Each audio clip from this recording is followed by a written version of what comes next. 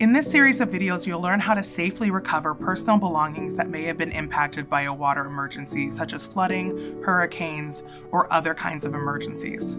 Even if you've had no prior experience responding to a water emergency, this series of videos will teach you how to safely salvage items that matter most to you. Look forward to a new series of videos on wet salvage and recovery brought to you by the Foundation for Advancement in Conservation and the National Center for Preservation Technology and Training.